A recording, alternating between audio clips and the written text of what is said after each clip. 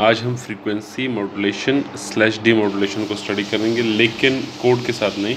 اس اس کے بلاکس کو کیسے ہم ڈیزائن کر سکتے ہیں سیمولنگ کے اوپر یہ چیز ہم آج ہم اسٹڈی کریں گے۔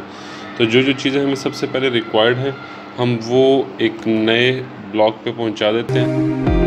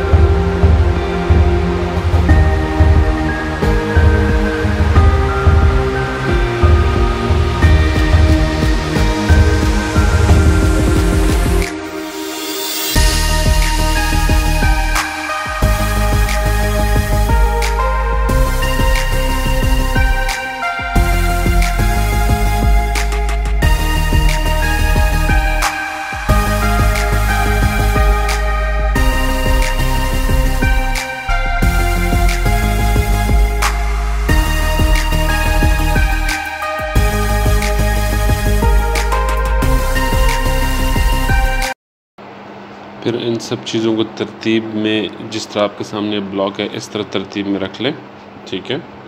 کنیکٹ کر لیں۔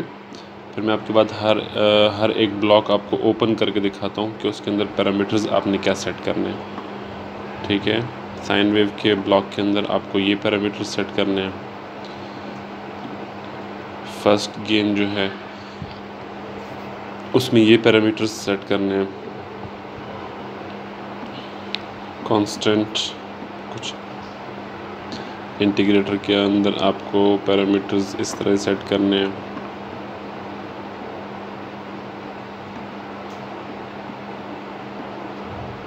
اور ٹریگنومیٹرک فنکشن آپ نے سائن جو کہ اوریجنلی ہوتا ہے اس بلاک کے اندر اس کو کاز پہ کر دینا ہے۔ ٹھیک ہے۔ میٹرکس ملٹیپلائر اس کے بعد انالوگ فلٹر ڈیزائن اور continuous time voltage control oscillator V C O